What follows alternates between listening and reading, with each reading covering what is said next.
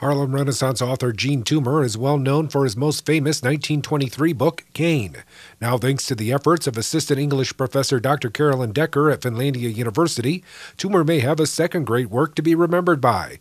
In the Beinecke Library at Yale, Decker came across a manuscript written by Toomer in the mid 1930s. What I discovered was a play called A Drama of the Southwest that was a lot larger and more assemblable than people had kind of imagined. And so I was able to use both his handwritten and his typed drafts to really create a nearly complete full length play um, that had just been left behind there in the archives. Decker is credited as the editor of the book, a significance not lost on her. I'm aware that it's an incredible honor to have my name on a book spine next to Jean Toomer's.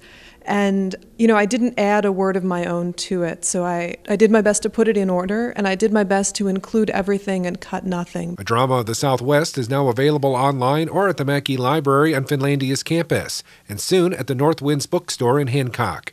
For ABC 10 CW5 News, I'm Keweenaw Bureau reporter Rick Allen.